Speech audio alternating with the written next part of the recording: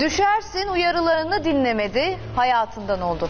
Antalya'da yakınlarının yanına tatile gelen 16 yaşındaki Abdullah Ölmez, manzara izlerken yaklaştığı 30 metrelik falezlerden kayalıklara düşerek öldü.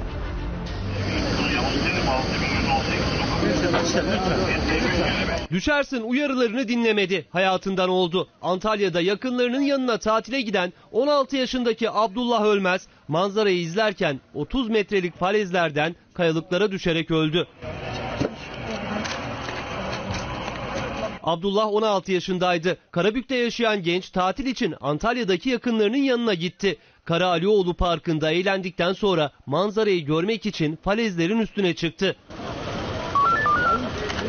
Israrla falezlerin ucundaki bir ağaca ulaşmaya çalıştı. Yakınları onu uyardı. Düşersin oraya gitme dediler. Ancak o uyarılar işe yaramadı. Abdullah bir anda dengesini kaybetti ve 30 metre yükseklikten kayaların üzerine düştü. 48-256 merkez. İtfaiye ve deniz polisi ekipleri Abdullah'ın düştüğü noktada saatlerce arama yaptı. 16 yaşındaki genç bulundu ancak haber yakınlarını sevindirmedi. Çünkü ölmez hayatını kaybetmişti.